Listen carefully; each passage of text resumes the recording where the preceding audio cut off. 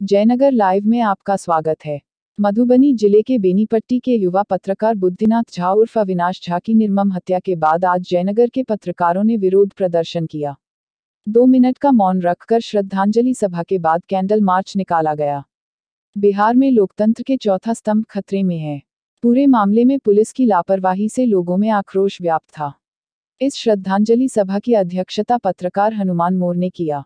इस श्रद्धांजलि सभा में वरिष्ठ पत्रकार ललित झा मोहम्मद अली, हनुमान मोर एवं अन्य पत्रकारों ने सरकार से मृतक युवा पत्रकार को शहीद का दर्जा देने 25 लाख रुपए मुआवजा, पीड़ित परिवार के एक सदस्य को नौकरी, परिवार की सुरक्षा, स्पीडी ट्रायल कर जल्द सजा की मांग की है।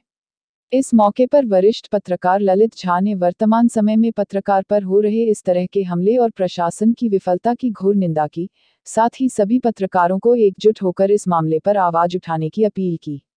वहीं वरिष्ठ पत्रकार मोहम्मद अली ने सरकार को जंगलराज बताया, साथ ही युवा पत्रकार बुद्धिनाथ झा उर्फ़ अविनाश झा की विभत्स निर्मम हत्या को जघन्य अपराध बताते हुए जल्द से जल्द कार्रवाई की मांग की।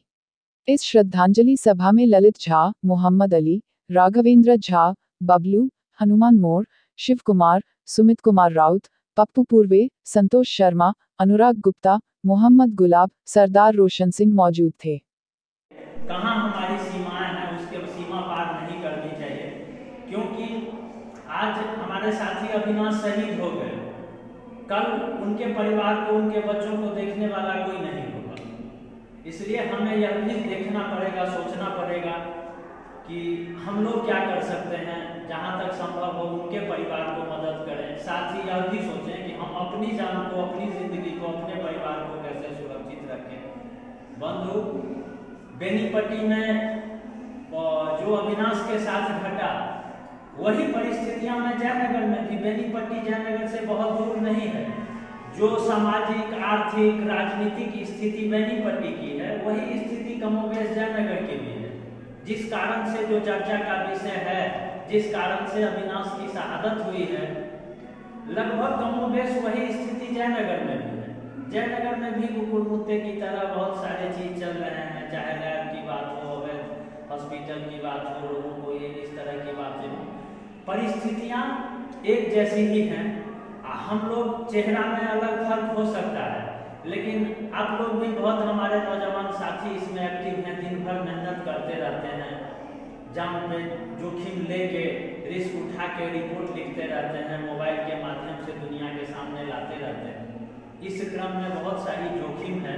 दो तीन चीज़ें मैं आप लोग, अपने नौजवान साथियों से, क्योंकि आप लोगों के समय अभी बहुत लंबा आप लोगों को फासला तय करना है। ज़िंदगी बहुत अनमोल होती है, इसलिए काम करते वक्त कुछ चीज़ों का ध्यान अवश्य रखिए। बहुत लोग उत्साह में आके इसकी परवाह नहीं करते कि ये जो होगा देखा जाएगा।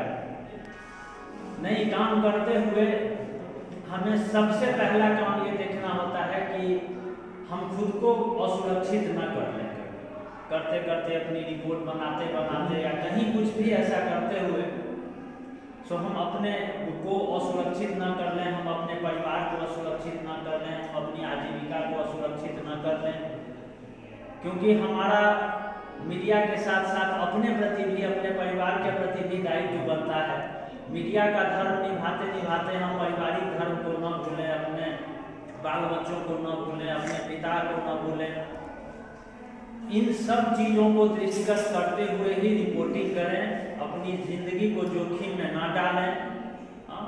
और मैं इन्हीं आग्रह के साथ फिर आगे बात होगी। मेरा जो कुछ सुझाव है अभी नहीं हम कार्यक्रम के अंत में कुछ बात कहेंगे अपने साथियों से। आ, मैं एक बार पुनः अपने स्थानीय पत्रकारों के द्वारा एक बैठक आहूत की गई है। इस बैठक के माध्यम से शोक सभा का भी आयोजन किया जाएगा। चाहे केवल सीनियर पत्रकार ललित जी आप लोगों के बीच अपनी बात तो हम चाहेंगे कि ललित जी आप लोगों के बीच अपनी बात रखेंगे और ये सारा चीज़ होते हुए हम लोग को सभी आदमी को एकजुट होकर के ही आगे बढ़े कोई काम करें उसको ज़्यादा मजबूती रहेगी बस हम यही कहना चाहते हैं सबसे कि सभी आदमी एक हूँ। कोई द्वेष नहीं, कोई भावना नहीं हो एकजुट होकर के रहें। इसी के साथ मैं भाई को श्रद्धांजलि अर्पित करता हूँ हमारे सुप्रेस के सभी मित्रों ने अपनी बातें रखी है और सारी बात उचित है। कि सबसे पहले तो हमारे जो युवा साथी पत्रकार थे, उनकी जो घटना मौत हुई है, उसका स्पिरिट क्या है, उसकी जाँच हो और उसको जो भी दोषी है, कड़ी से कड़ी कार्रवाई हो कि उससे आगे जो दूसरे हैं, उनको एक सबक मिले कि एक पत्रकार के साथ ऐसा व्यवहार करना वो कितना भारी पड़ता है।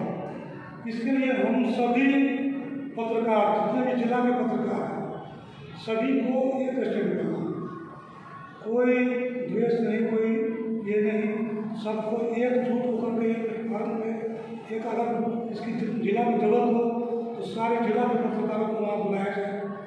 सारे पत्रकार वहाँ जाएँ एस पी से मिले वहाँ के जो पदाधिकारी हैं उनसे मिले, और इसका कड़ा विरोध उसके बाद मोदी जी ने बहुत अच्छी बात बोली है पत्रकारिता करने के साथ साथ हम लोगों को अपने परिवार पर भी ध्यान देना है।